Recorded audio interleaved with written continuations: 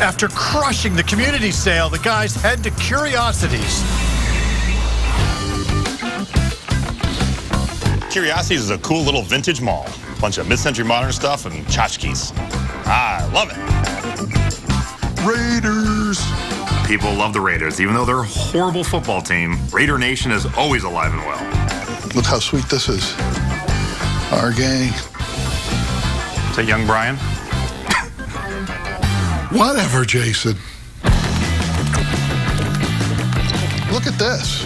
What do you got? Oh, that's what I. Yeah, wait a minute. A flavor flavor. Yeah, give me that. Give me that. Give me that. Give me the full effect now. Flavor Flav. Quit horning in on my game and take that hat off. Actually, this is kind of nice. The challenge of clocks like this is the pricing's are all across the board, but I like this one because it's different. It's time I buy a clock. Nice. Now we're talking. I don't have a man cave. I don't have time for a man cave. I'm too busy shipping and packing and selling and listing and shopping. All right, guys, what's this man cave got to offer? The chimp doctor. Maybe I'm just a kid at heart, but I love anything weird and unusual. Looks like you're not the only one.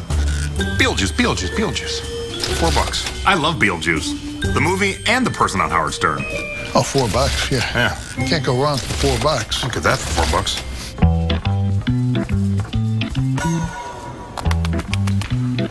I find this phone, or at least I thought it was a phone. You're not going to believe what this is. It's in disguise. She said 250. It's got to be well over 500 posters. I need you to help me count them. I'm shocked. Jason and Bryan have taken their thrift hunt to new heights. Bryan's on a bulk buying binge, stocking up on movie posters and fairy ornaments. If I don't take the risk, I'll never get the reward. Here in the man cave, Jason styled in a mystery item. It's a phone. So what? But oh no. May look like a phone, but nay nay.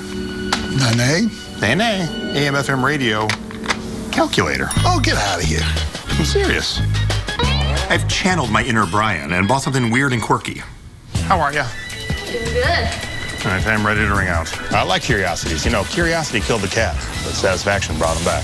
And both guys are satisfied with what they bought. I spent $87.50. I'm gonna turn it into $350. I spent $110.50, and I want to turn that into $300.